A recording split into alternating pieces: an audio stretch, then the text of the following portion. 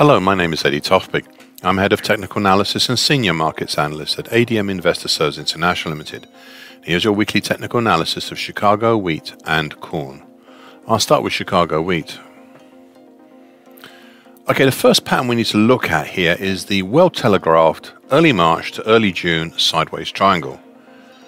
Now, I'm the first to say this is not a good looking example of such a pattern, but I also say that it still has merit. Target X was the primary target in the 953 area.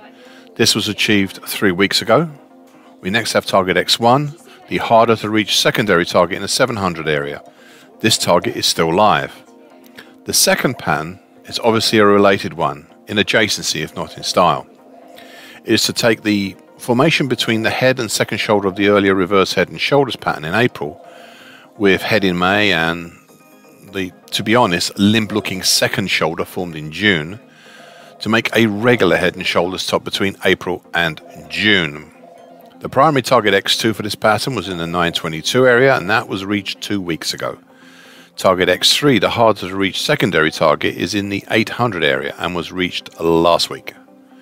The 50% Fibonacci line for the May 2019 March 22 move at 891 and the 50% Fibonacci line of December 17 to March 22 move at 887 plus until recently the slowly rising long moving average currently 920 all provided limited support on the way down but chose to provide interesting resistance for a change this week along with the November 2012 high at 930 even if only on an opening basis last week. Prices have since Monday moved lower down to the lows of last week. Question now is whether the market will try and make a base here or perhaps a bearish halfway hesitation or even a bear flag. This with target X1 still unachieved, still unachieved.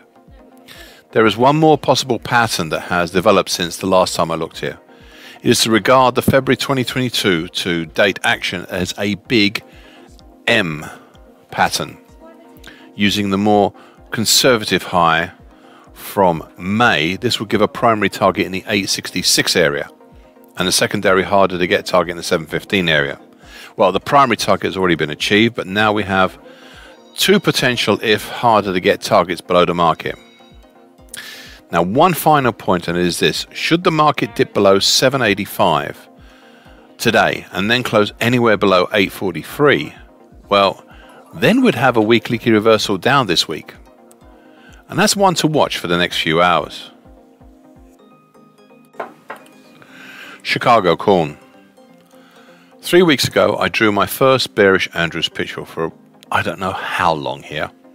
Since then, the market started to try and use it now, given that the market has not seen a bearish pitchfork of any kind for I don't know how long, the market's attempts to utilize it have been good enough, if sloppy.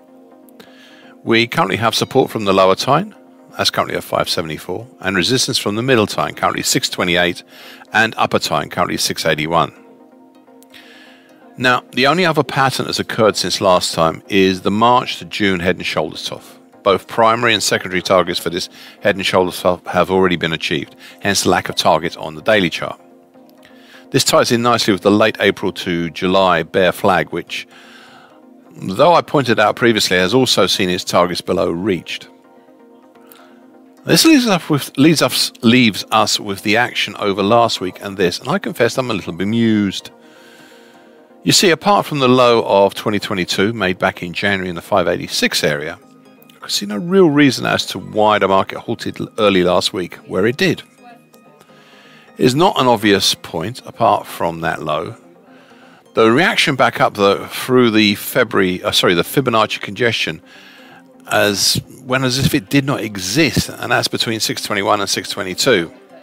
But it was understandable, as if there was no way down, then the market rose back up through a fairly free area um, to be halted in its rise this past Monday by a combination of the slowly rising long moving average, currently 660, and the 50% Fibonacci line of September 21 to April 2022 move at 661, and most especially by the de- sharply declining short moving average, currently 638. This caused the subsequent decline. Yet the market seems to be now unsure where to go.